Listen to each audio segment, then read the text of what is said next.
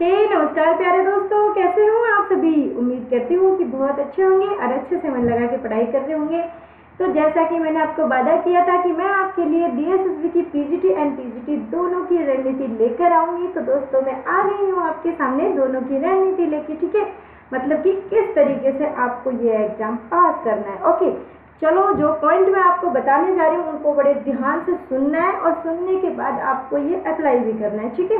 ऐसा नहीं है कि सुनने के बाद सब कुछ भूल जाओगे, ठीक है? मोटिवेशन उसको कहते हैं जिसको सुनने के बाद, ठीक है? जो आपने मोटिवेशन किसी से भी ली है, किसी से सुनी है, किसी अपने माता, पिता, बहन, भाई, किसी से भी आपने कुछ सीखा है, और उसको निरंतर तब तक अपने अंदर बनाए रखते हो जब तक आपके लक्ष्य की प्राप्ति आपको नहीं हो जाती अगर तब तक वो चीज़ आपके जहन में है, उसी तरीके से।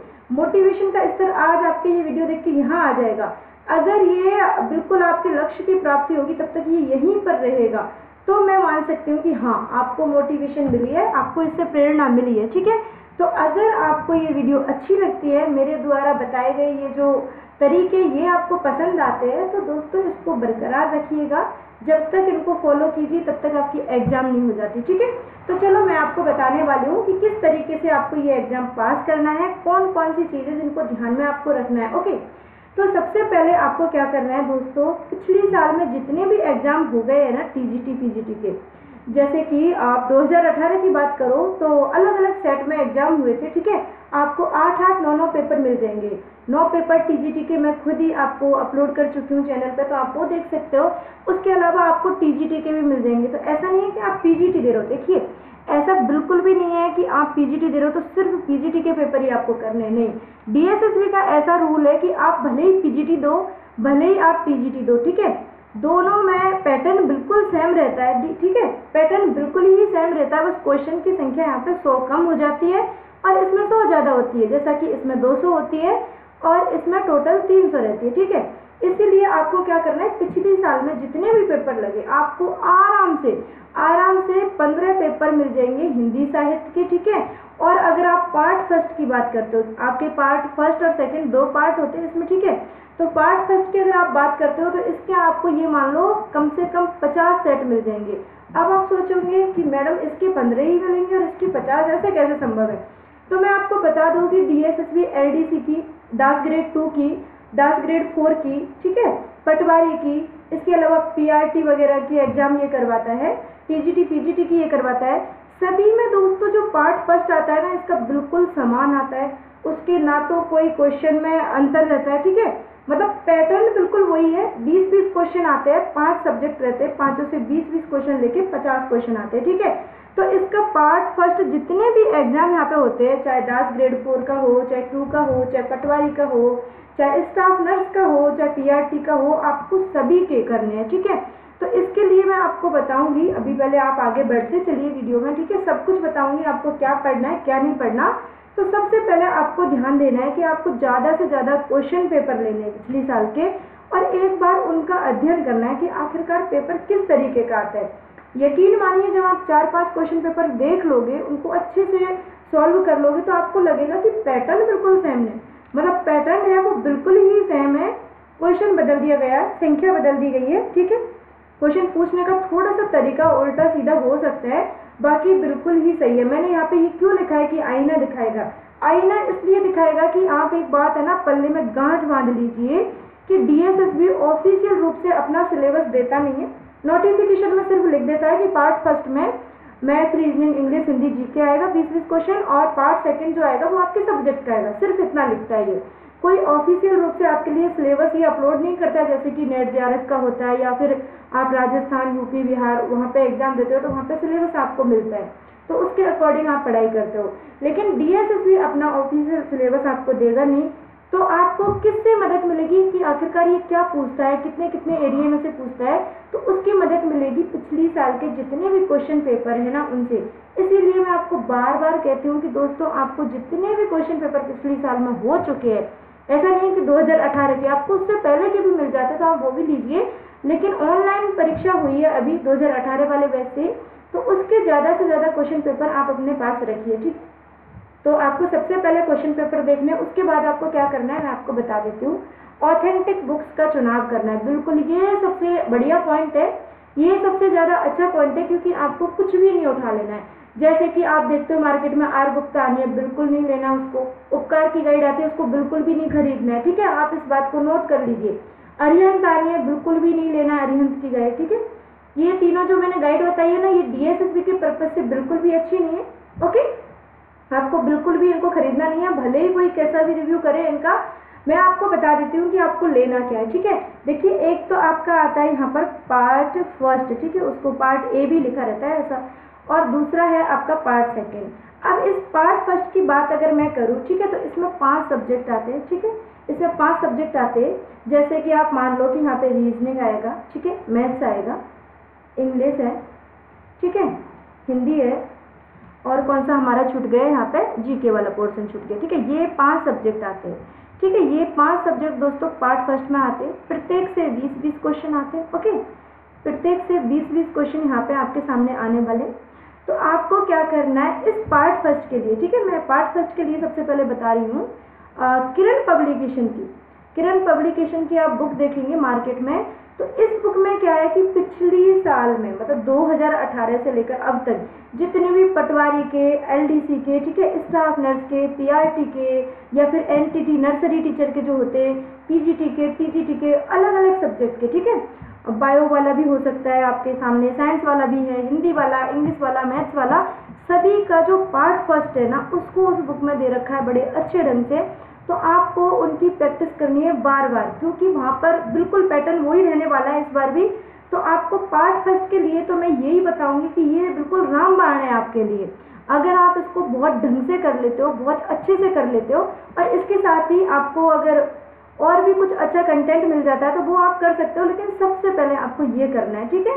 मैं किसी बुक वाले का वो नहीं कर रही, लेकिन मैं मार्केट में गई थी, मैंने देखा कि इस बुक में औरों के अकॉर्डिंग इन सब के बजाय ये जो मैंने आपको बताई थी, आर गुप्ता, उपकार और ये सब, ठीक है?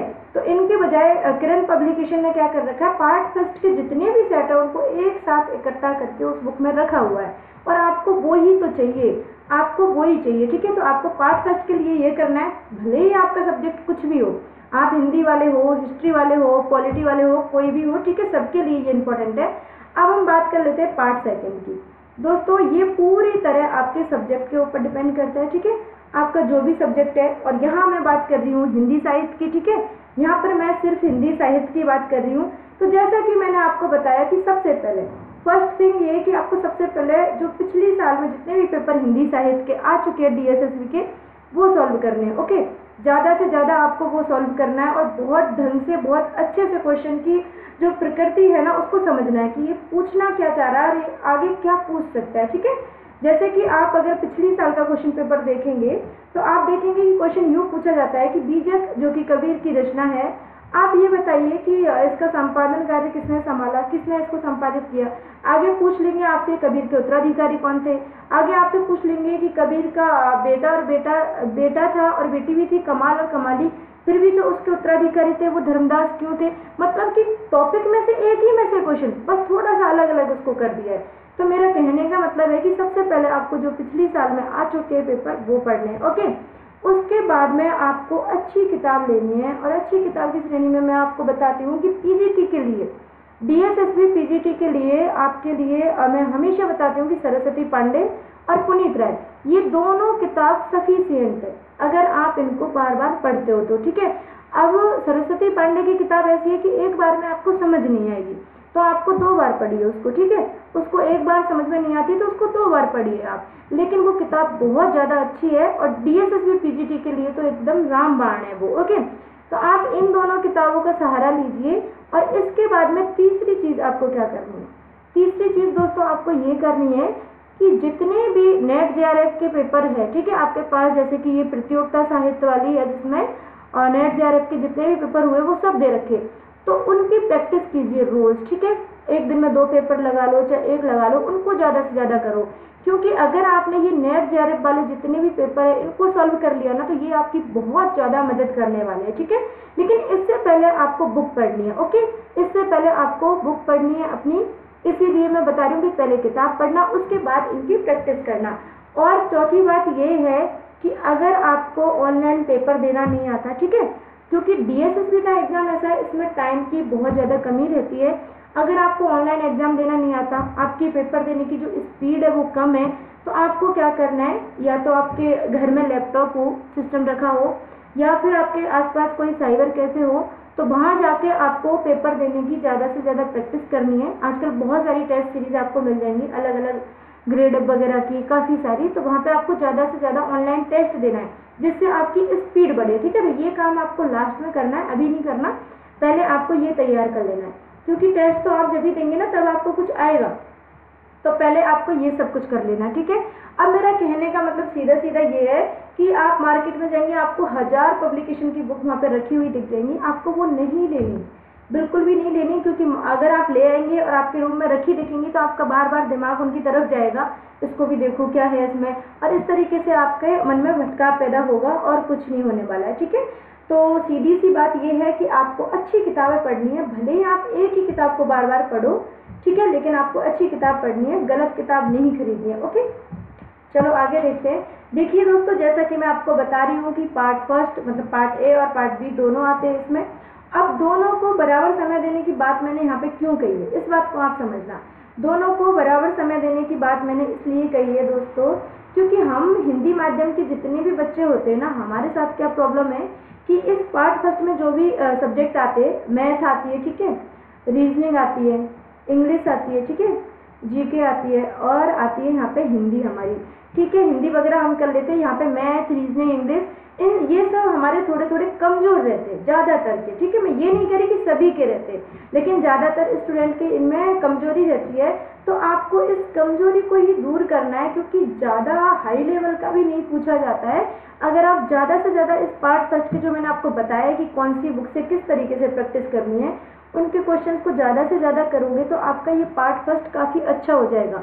और डीएसएसबी का एक पंगा और है कि अगर आप यहाँ पे जैसे कि आप जनरल वाले हो चुके आपके 40 नंबर आने चाहिए। अगर आपके 40 से कम हुए इस पार्ट फ़र्स्ट में तो आपका पार्ट सेकंड चेक ही नहीं होता है, ठीक है? तो इसी तरीके से आप O B C S C S T में आते हो धीरे धीरे तो और थोड़ी सी संख्या यहाँ पे कम हो जाती है। पैंतीस और तीस तक रहती है, ठीक है? तो आपको यहाँ पे कम से कम चालीस लाने हैं नंबर तभी आपका पार्ट सेकंड है, ये पास होगा, ओके? मतलब चेक होगा। तो सीधी सीधी बात ये है कि आपको दोनों को पढ़ना है साथ में, दोनों में संतुलन बनाए रखना है, ओके? सब्जेक्ट आपको पढ़ना ही है, क्योंकि बहुत सारे बच्चे मैंने ऐसे देखे, सारे दिन सब्जेक्ट पढ़े, पढ़ने लगे रहते, इसकी ओर ध्यान ही नहीं देते। और कहते रहते ये मेरे से होगा नहीं, मेरा कमज़ोर है। तो ये बिल्कुल भी नहीं करना है। अगर आपका ख्वाब है कि आपको डीएसएसबी में पीजीटी की पोस्ट पर जाना है, ठीक है? तो आपको इस पार्ट फ़र्स्ट पे भी ध्यान देना होगा। मैं मानती हूँ कि आप हिंदी को बहुत अच्छे से यहाँ पे कर लेंगे, ठीक है? रीजनिंग भी आप कर सकते हो काफ़ी हद तक, लेकिन डीएसएसबी रीजनिंग भी मैथ्स की तरह पूछती है। तो आपको इसकी भी प्रैक्टिस करनी है। मेरा कहने का मतलब है कि पूरे पार्ट फ़र्स्ट की आपको ज़्यादा से ज़्यादा प्रैक्टिस करनी है। किरण पब्लिकेशन की बुक या फिर आपको ऐसा कोई भी पेपर मिलता है जिसका पार्ट फ़र्स्ट आपको मिल जाता है तो ज़्यादा से ज़्यादा आपको वो पढ़ना है। मेरा कहने का मतलब सीधा सीधा ये है। और पार्ट सेकंड को तो आप पढ़ते ही रहते हो। जहाँ भी देखती हूँ मैं, आप पार्ट सेकंड ही पढ़ते रहते हो, ठीक है? तो दोनों में आपको तालमेल बिठा के फिर आगे बढ़ना है। ठीक है दोस्तों? चलो आगे देख लेते हैं। देखिए, एक बार आपको पूरे पाठ्यक्रम को, जो आपका सिलेबस है, उसको एक बार पूरे को आपको पढ़ लेना है, लेकिन पढ़ने का मतलब ऐसा नहीं है कि आपका ध्यान कहीं और भटक रहा है, ठीक है? आपका ध्यान कोई, कहीं और भटक रहा है और आप मेरे से कहते हो कि मैडम, मैंने पूरी किताब एक बार पढ़ ली, लेकिन एक भी क्वेश्चन मेरे से ठीक नहीं होता।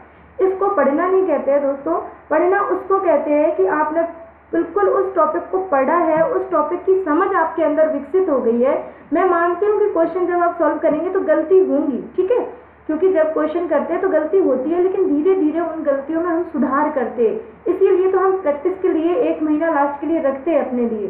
तो इसीलिए आपको किताब को पढ़ना है, अपने पूरे पाठ्यक्रम को पढ़ना है, लेकिन बड़े ध्यानपूर्वक, समझते हुए उसको पढ़ना है। ऐसे ही नहीं कि दिमाग कहीं और रखा है, आप उसको बस पढ़ते जा रहे हो, पढ़ते जा रहे हो। ठीक है, ये नहीं करना है आपको। ध्यानपूर्वक पढ़ना है फिर आपको क्या करना है उसके बाद में ज़्यादा से ज़्यादा अभ्यास करना है। बिल्कुल दोस्तों जैसे कि आपने ज़्यादातर टीचर को कहते हुए सुने सुना होगा कि आ, हमें ये अपने अंदर समझ विकसित करनी है कि हमें क्या पढ़ने से बेहतर है आ, क्या छोड़ना चाहिए ये हमें आना चाहिए ठीक है? और मैं आपसे हमेशा कहती हूँ कि अगर आपने कोई टॉपिक उठा लिया जैसे कि आपने भक्ति काल उठा लिया ठीक है? यहाँ पे मैं हिंदी की बात कर रही हूँ आपने भक्ति काल उठा लिया है। तो मेरा आपसे कहना ये रहता है कि आप भक्ति काल को ऐसे पढ़ो कि पूरे भक्ति काल में से कहीं से कुछ भी पूछ लिया जाए, लेकिन आपके अंदर से ये आवाज़ आनी चाहिए, मेरा गलत होगा ही नहीं। क्योंकि मैंने इस भक्ति काल को तो ऐसे पढ़ा है कि मेरा गलत होना ही नहीं है। तो मेरा कहने का हमेशा यही टारगेट रहता है कि आप कोई भी टॉपिक पढ़ो, भले ही आप किसी एक कवि के बारे में पढ़ रहे हो, आप कबीरदास जी को पढ़ रहे हो। तो कबीरदास जी को इस तरीके से पढ़ो कि इसमें से कोई भी किस तरीके से मतलब पूरी गलियों में से घुमा फिरा के, इधर घुमा फिरा के फिर आपसे क्वेश्चन करे तो भी आप कहोगे कि हाँ मेरा ये क्वेश्चन सही होगा, क्योंकि मुझे पूरी समझ है इसकी। कबीर दास का जन्म कैसे हुआ, कहाँ से हुआ, ये सारी चीज़ें सबको आती है। लेकिन इन्होंने अपनी पदों में क्या लिखा, क्या क्या कहने का प्रयास किया, ठीक है? तो कहने का मतलब सीधा सीधा ये है कि आपको समझ विकसित करनी है, ओके? समझ विकसित करनी है और अच्छे से पूरे पाठ्यक्रम को एक बार पढ़ लेना है, फिर ज़्यादा से ज़्यादा आपको प्रैक्टिस करनी है, अभ्यास करना है, ओके दोस्तों? चलो, आगे देख लेते हैं और। ये सबसे ज़्यादा इम्पोर्टेंट पॉइंट है। जितने ज़्यादा इम्पोर्टेंट पॉइंट अब से पहले थे, उनसे भी ज़्यादा इम्पोर्टेंट ये है, क्योंकि कभी कभी क्या होता है, हम शांत नहीं रहते। शांत रहने का मतलब ये यूट्यूब खोलते हैं, या कोई भी आप फेसबुक चलाते हो, या फिर कोई और आप सोशल साइट से जुड़े हुए हो, उनको देखते हो तो आप तरह तरह की चीज़ देखते हो कि यहाँ पे टेस्ट सीरीज़ चल रही है, ये कोचिंग है, इसमें इतनी फ़ीस है, यहाँ पे ये हो रहा है, वो बच्चा ऐसे पढ़ रहा है, मुझे भी उसकी तरह ये किताब खरीदनी है। तो आपको इधर उधर बिल्कुल भी भ्रमित नहीं होना है, ठीक है? कोई आपसे कुछ भी कहे कि ये किताब अच्छी है, ये बुरी है, आपने तो डिसाइड कर लिया कि मेरे पास जो है वो सबसे अच्छी है, ठीक है? और मुझे पढ़ना है, वो सबसे बढ़िया है। तो आपको खुद को शांत रखना है, ओके? और धैर्य रखना है, इसकी कमी रहती है हम सभी दोस्तों के पास, लेकिन आपको इसमें कमी बिल्कुल भी नहीं रखनी, आपको धैर्य रखना है, क्योंकि ऐसा तो है नहीं कि डीएसएसबी पीजीटी या टीजीटी कोई पका हुआ आम है जो टपक के तुरंत आपकी झोली में गिर जाएगा ऐसा नहीं है। वो अभी तक ये मान लो कि उस आम का अभी तक अंकुर भी नहीं निकला है बिल्कुल वो निकला ही नहीं है अपने फूल से। उसमें पूरी प्रक्रिया है वो आपको ही करनी है आपको ही इसके लिए मेहनत करनी है सब कुछ करना है।